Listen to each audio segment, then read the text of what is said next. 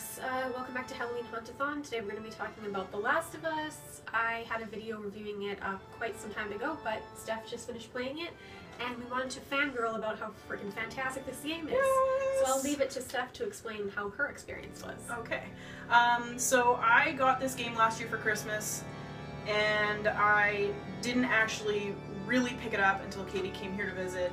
Um, I had tried it on um, a harder difficulty and died in this one area multiple times. I kind of just lost interest I'm like, I can't fucking do this.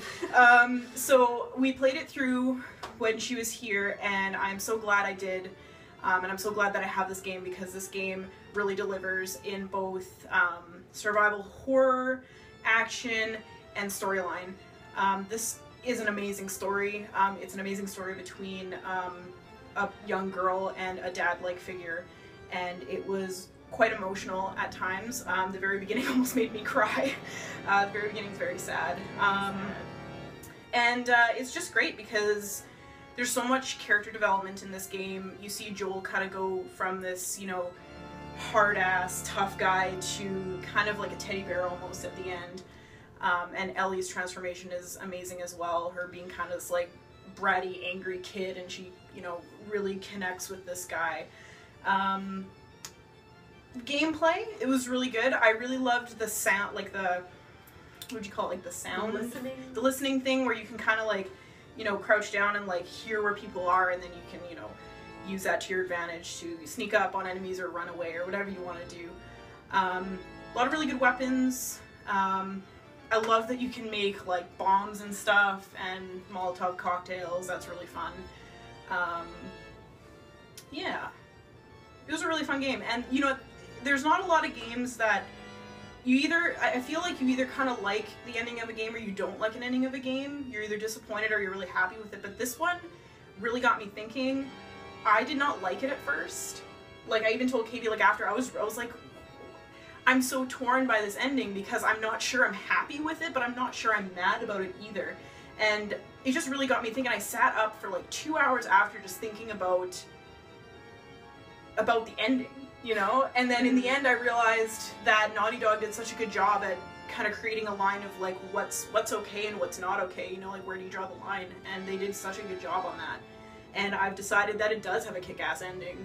It does. So- it's honestly like I, I've played it so many times and, and I watched her play it as well this time and it's like it just gives me chills from the very beginning to Yeah. the very end. It's one of those games that literally I've never played something so good, like in every sense. It's just so cohesive and it's like glitch free and it's Yeah. just like so No smooth and just like literally the best game I've have ever played as to this date. So Yeah. I mean, I love it. I love Ellie. I love how close she gets to Joel and the relationship that they build.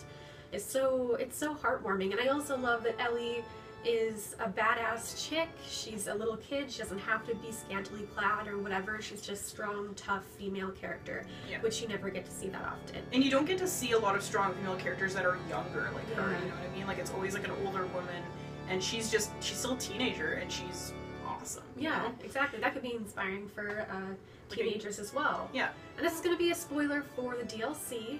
So if you haven't played the DLC yet, then stop watching now.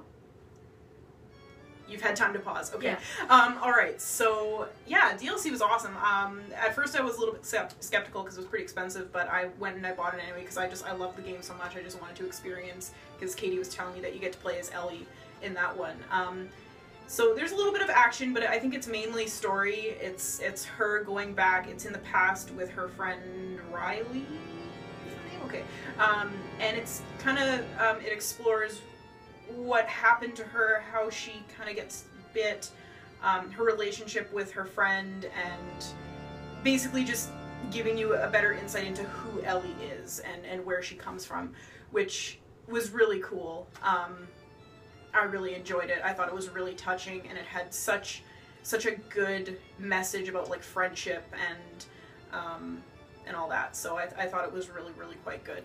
Another Definitely thing- worth the money.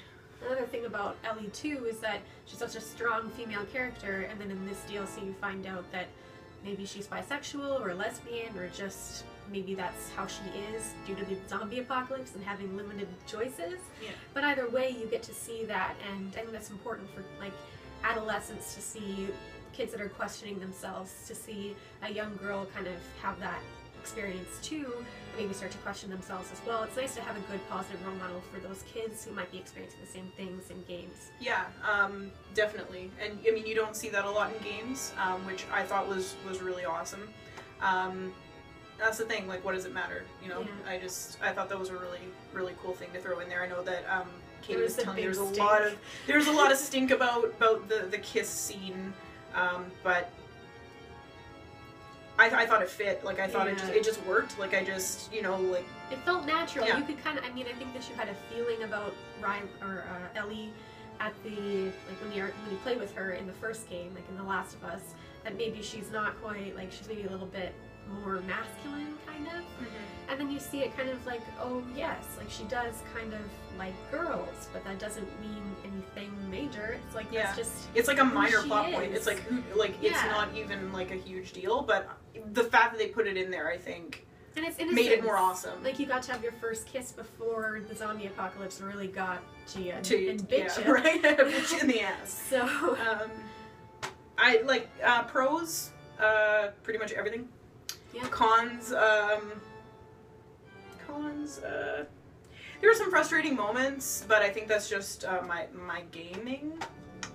I may have ran in when I should have hid and snuck up on people. I'm kind of a loose cannon, so so yeah, that that was a little bit frustrating sometimes. I kept dying, but it's no fault in the game, It's one really. of the harder games. yeah, So we always recommend playing it on easy first. yeah. Play it for story, story. first, and then challenge yourself after. Yeah, So that's our take. Well, I love The Last of Us. It's now my all-time favorite game. Hopefully, it'll get up there for Steph as well. 'cause oh, it's that- definitely up there. it's incredible. So that's our quick review of The Last of Us and uh, Left Behind the DLC for The Last of Us. So thank you so much for watching. This is Steph, my bestie. I'm Caity Fox, and happy Halloween. Happy Halloween! Bye. Bye.